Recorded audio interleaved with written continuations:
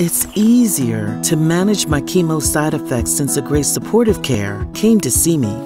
They're taking the time to listen and talk about options for feeling better.